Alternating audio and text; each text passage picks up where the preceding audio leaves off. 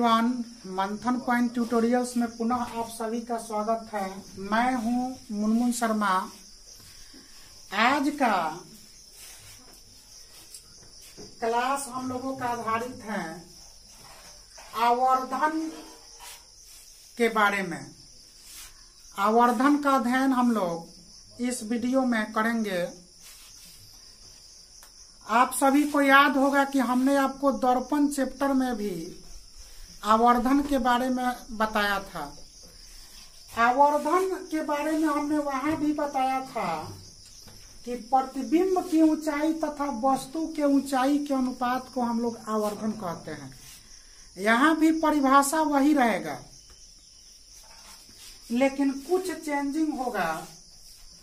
जैसे वहाँ पे हम लोग आवर्धन का एक और सूत्र प्राप्त किए थे, m is equal to minus v by u लेकिन यहाँ पर जो आवर्धन का सूत्र हम लोग प्राप्त करेंगे, m is equal to plus v by u जहाँ हम लोग v को प्रतिबिंब दूरी कहते हैं इमेज डिस्टेंस कहते हैं, और u को हम लोग वस्तु दूरी ऑब्जेक्ट डिस्टेंस कहते हैं। तो सबसे पहले हम लोग परिभाषा पर ध्यान देते हैं। आवर्धन को हम लोग मैग्निफिकेशन कहते हैं। तो क्या परिभाषा, वही परिभाषा, चूँकि यहाँ पे लेंस की बात हो रही है तो लेंस में हम लोग कैसे परिभाषा देंगे? किसी लेंस में प्रतिबिंब की ऊंचाई तथा वस्तु की ऊंचाई को, वस्तु को हम लोग बिंब भी कहते हैं तो वस्तु के जगह पर बिंब भी लिखा जा सकता है। तो किसी लेंस में प्रतिबिंब की ऊंचाई तथा वस्तु की ऊंचाई के अनुपात को लेंस का आवर्धन कहते हैं। इसे एम से सूचित करते हैं। आवर्धन को हम लोग किससे सूचित करते हैं?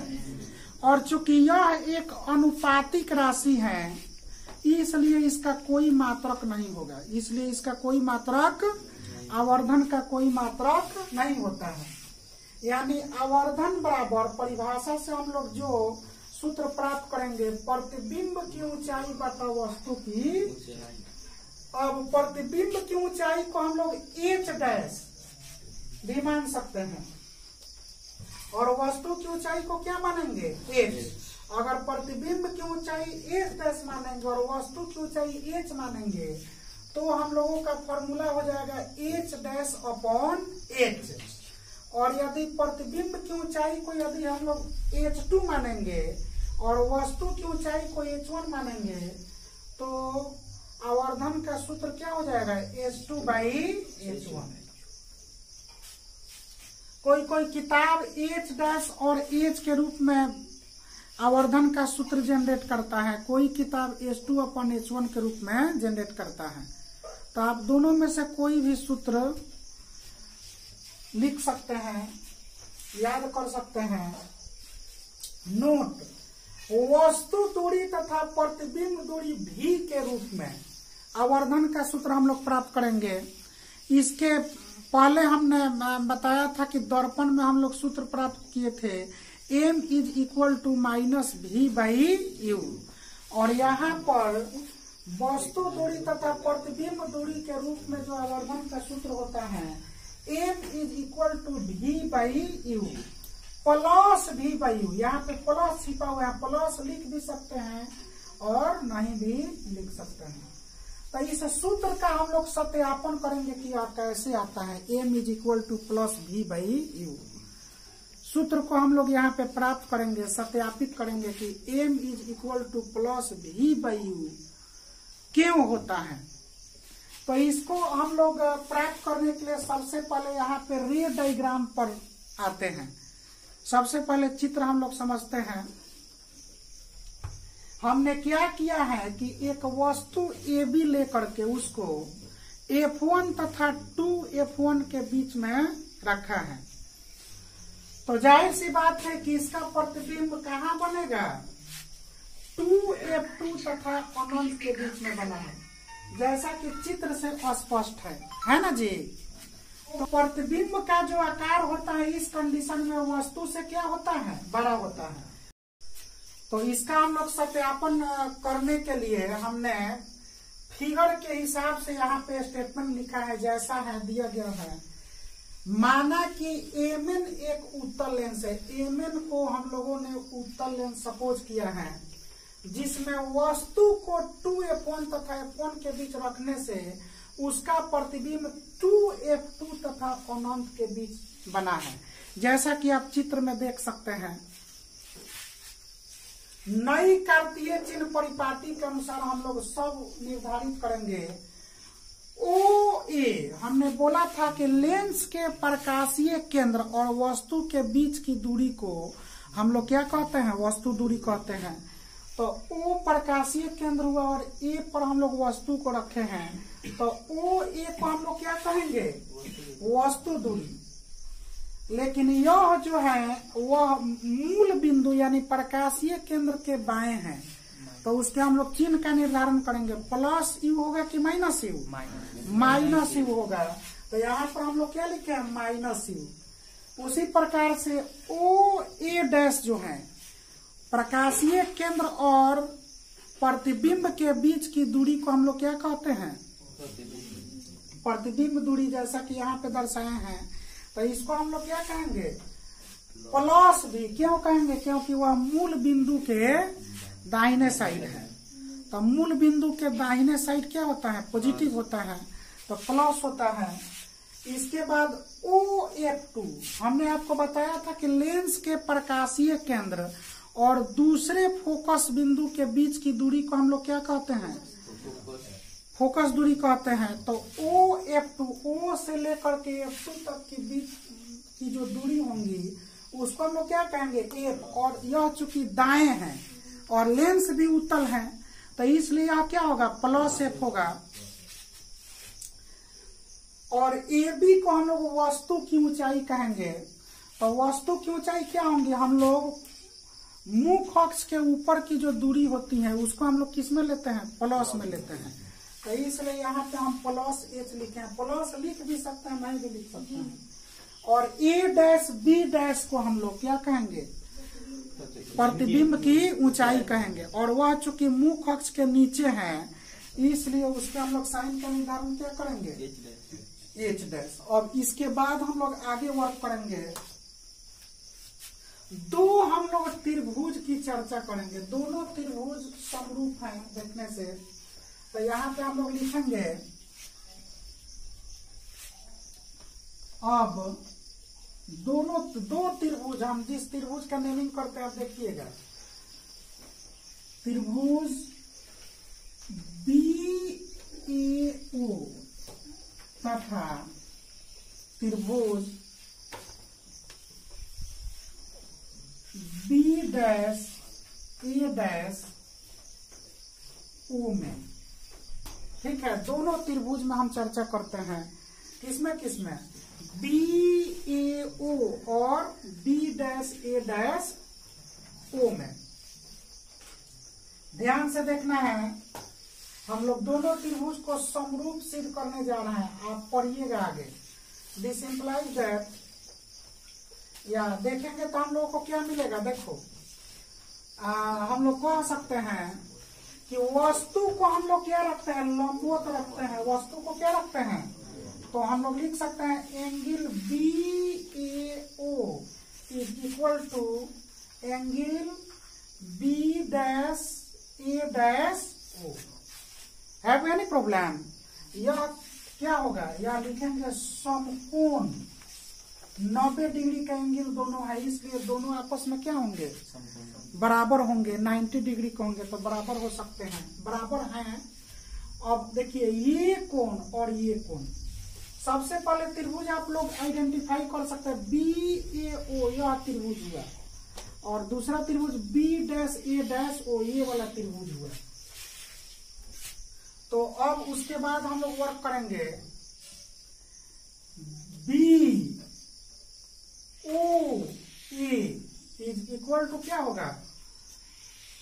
यहाँ पर फिर हम लोग लिखेंगे B dash O A dash ये कोण और ये कोण दोनों आपस में बराबर होंगे। क्यों होंगे? क्योंकि ये शीर्षाभिमुख कोण है। कौन कौन है? तो शीर्षाभिमुख कोण आपस में बराबर होते हैं। अब किसी भी दो त्रिभुजों में यदि तुलना करने पर दो कोण आपस में बराबर हो जाए तो दोनों त्रिभुज समरूप होते हैं। कौन समरूपता से? डबल ए समरूपता से ए ए समरूपता से। ट्रिपल ए भी समरूपता कह सकते हैं, क्योंकि किसी भी दो त्रिभुज की अगर दो कोण आपस में बराबर हो जाए तो तीसरा कोण आपस में बराबर होगा ही। है एनी प्रॉब्लम तो यहाँ पे हम लोग लिखेंगे, so triangle B A O similar triangle या हम लोग ए ए के बराबर किए हैं। तो यहाँ पर क्या लिखेंगे? बी डैश ए डैश और ओ ओ के बराबर किए हैं। तो ओ होगा। हैव एनी प्रॉब्लम अब हम लोग वर्क करेंगे दिस इंप्लाइज दैट आगे आप पढ़िएगा। हम आपको पढ़ाएँगे समरूप त्रिभुज के बारे में। तो समरूप त्रिभुज की यह कौन समरूपता हुआ? ए ए समरूपता से। ए ए डबल ए समरूपता से। तो रूल होता है कि समरूप त्रिभुज की संगत भुजाएँ क्या होती हैं? समानुपाती होती हैं। तो इस त्रिभुज का हम लोग लंब देखते हैं। लंब यानी जो लंबवत जो रेखा है यानी हम लोग क्या कह सकते हैं? A B. और इसमें का हम लोग या उसका पहले हम लोग देखते हैं। या जैसे भी ए बी, अपॉन क्या लिखेंगे? A dash, B dash. Is equal to इसका हम लोग लेते हैं आधार। तो ओ ए, अपॉन क्या होगा? O A dash. Have any problem O A upon O A dash. या जो हम लोग समरूपता लिखते हैं, यहाँ पे आर एच एस आप समरूपता भी लिख सकते हैं। हैव एनी प्रॉब्लम अब देखिए, हम लोग चाहे तो ए बी के जगह पर क्या लिख सकते हैं? एच और ए डैश बी डैश के जगह पर हम लोग क्या लिखेंगे? बोलो एच डैश डैश लिखेंगे। और ये वाला देखिए, इसको हम लोग ओ ए को क्या लिखेंगे? ओ ए यहाँ पे देखिए ओ ए को हम लोग माइनस यू लिखेंगे। ओ ए को क्या लिखेंगे? माइनस यू और ओ ए डैश को क्या लिखेंगे? Plus B. क्या लिखेंगे? लेकिन यहाँ भी देखिए, ए बी को प्लस एच और ए डैश, बी डैश को हम लोग यहाँ पे क्या लिखना चाहिए? Minus h dash. क्या होगा? क्योंकि यहाँ नीचे बना है। तो इसलिए यहाँ पे क्या लिखेंगे? माइनस एच डैश लिखेंगे। है एनी प्रॉब्लम बोलो, कोई प्रॉब्लम है तो। अब फिर हम लोग आगे वर्क करेंगे तो यह क्या मिलेगा? जब इसको सॉल्व हम लोग करेंगे आ, तो इसको ऊपर लिख सकते हैं दोनों को चेंज कर सकते हैं। देखो इधर भी माइनस है इधर भी माइनस है। तो बाइसियम होगा तो क्या हो जाएगा? प्लस हो जाएगा।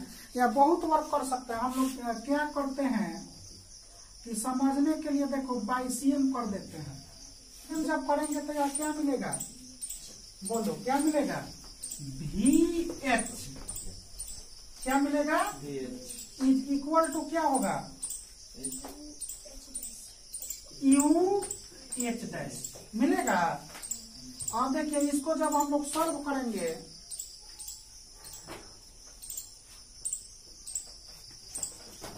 या इसको ऐसे भी लिख सकते हैं किसी को भी आगे पीछे।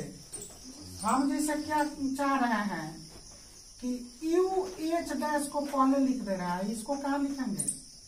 भी एच को बाद में लिख दे रहा है। बोलिए, कोई प्रॉब्लम है?